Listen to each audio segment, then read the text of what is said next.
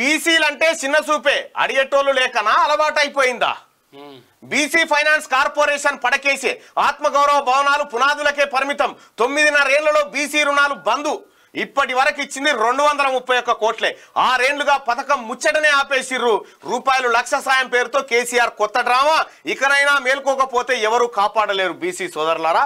మొత్తం నీ తొమ్మిది కేసీఆర్ పరిపాలనలో బీసీలకు దక్కిన పైసలు ఏంటంటే రెండు వందల ముప్పై ఒక్క కోట్లు. అది కథ. పద్దెనిమిది లక్షల కోట్లలో రెండు వందల ముప్పై ఒక్క కోట్లు దక్కినాయి మీకు. తెలంగాణలో బీసీల పట్ల చిన్న చూపు రోజు రోజుకు ఎక్కువ అవుతుంది ప్రధానంగా పెద్ద సార్కు బీసీలంటే సులకన భావం. ఓటు బ్యాంక్గా చూడడం మినహా ఆ కులాలను సీఎం కేసీఆర్ పెద్దగా పట్టించుకున్న పాపాన పోలేదు. బీసీలకు ఆర్థిక సాయం అందించి ఆర్థికంగా బలోపేతం అయ్యేందుకు బీసీ ఫైనాన్స్ కార్పొరేషన్ ఏర్పాటు చేసిన అది అలంకార ప్రార- అలంకార ప్రాయంగానే మిగిలిపోయింది. తెలంగాణ రాష్ట్రంలో అధికారంలోకి వచ్చిన తొమ్మిదిన్నర ఏళ్ళైన బీసీల కోసం ఫైనాన్స్ కార్పొరేషన్ ద్వారా వచ్చింది కేవలం రెండు వందల ముప్పై ఒక్క కోట్లు మాత్రమే. వాస్తవంగా చూస్తే బీసీ ఫైనాన్స్ కార్పొరేషన్ చైర్మన్ పదవి రాజకీయ ఉపాధి కల్పించడం కోసం మినహా మరే ఉద్దేశం లేనట్టు కల్పిస్తోంది.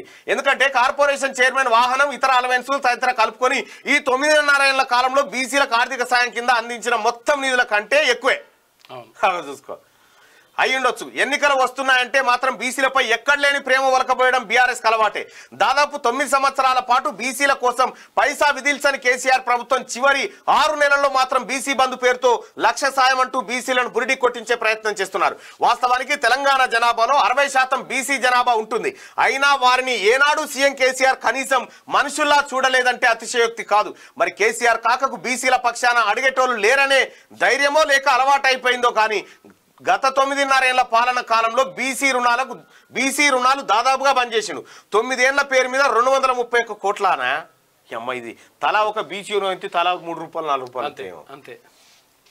బీసీల స్వయం ఉపాధి పొందడం కోసం తీసుకొచ్చిన బీసీ ఫైనాన్స్ కార్పొరేషన్ పూర్తిగా నిర్వీర్యం అవుతుంది రెండు వేల పద్నాలుగు సంవత్సరం నుంచి ఇప్పటి వరకు కేవలం రెండు వందల ముప్పై ఒక్క కోట్లను మాత్రమే నలభై ఒక్క వేల మంది లబ్ధిదారులకు రుణాలుగా అందించింది. ఈ లెక్కలు చూస్తే కేసీఆర్ కాక బీసీల అభివృద్ధి పట్ల చిత్తశుద్ధి ఎంత ఉందో అర్థమవుతుంది. ఒక్కసారి సంవత్సరాల వారీగా చూస్తే రెండు వేల పద్నాలుగు పదిహేను ఆర్థిక సంవత్సరంలో ఎనిమిది వేల ఎనభై ఎనిమిది మంది లబ్ధిదారులకు ఆ, ఇరవై ఐదు కోట్ల పైచిలుకు రెండు వేల పదిహేను పదహారులో పదహారు వేల మూడు వందల తొంభై మంది లబ్ధిదారులకు నూట ఇరవై ఆరు కోట్లు ఇచ్చి చేతులు దొరుకున్నారు ఆ తర్వాత రెండు వేల పదహారు పదిహేడు ఆర్థిక సంవత్సరంలో ఏమి ఇచ్చినో తెలియదు. మొత్తానికి బీసీలారా మీకు రూపాయి లేదుగా. అది. పన్నులు కట్టేదంతా మీరే. ఈసారి బీసీలు ఎట్లా దెబ్బ కొట్టాలంటే బీఆర్ఎస్ పార్టీని తొక్కి వంద కిలోమీటర్ల లోపల బాతి పెట్టాలి బీసీలు.